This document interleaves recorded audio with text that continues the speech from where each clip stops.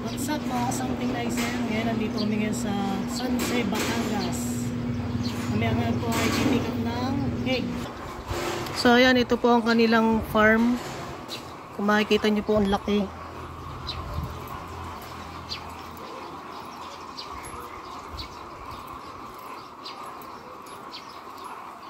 Ayan.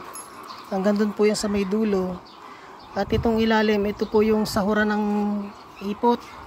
Kung saan pagka natuyo, pinakikinabangan pa rin nila para ibenta sa mga ah, farmers din natin na magugulay. Yan, nandito po sa taas ang mga chicken. Mapapansin nyo, yun, na inaninagan ng tray ng itlog. Doon nila iniipon yun bago nila ilagay dito sa loob ng warehouse. So let's go, samahan nyo kami sa taas. Tignan natin.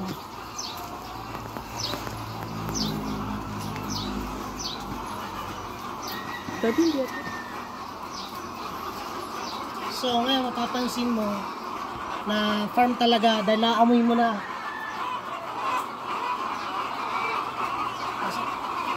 Pero hindi pa pwede pwede ka pala. Kasi gano'n ng bacteria sa mga manok. So ayan, hanggang dito lang po tayo kasi hindi pwedeng mabulabog yung mga manok, mag-iingay. Kung mapapansin nyo, napakarami, libo-libong manok ang nandito. Ang itlog.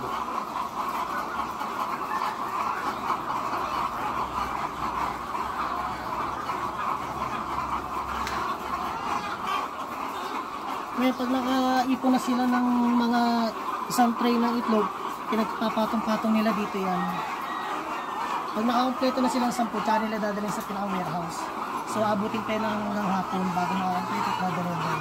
So, tara, balik tayo sa baba. Ngayon po, pagka naipon nila dun sa taas, dito na po nila ilalagay yon mga naipon nila pag nakasampung patong dadalhin na po rito.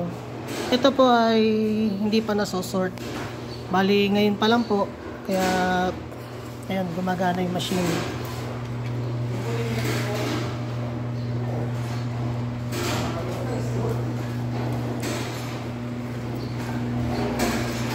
Yan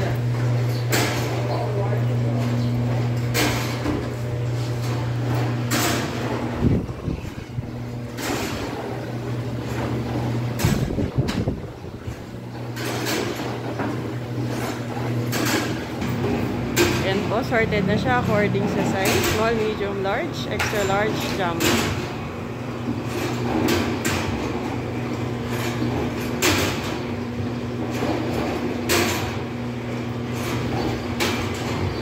so ayan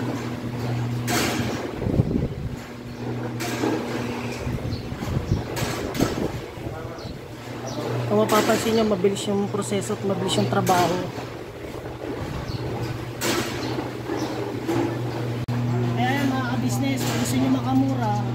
masigurado nyo guys at bagong hanyang ito, kumekta na kayo dito sa San Jose, Batangas.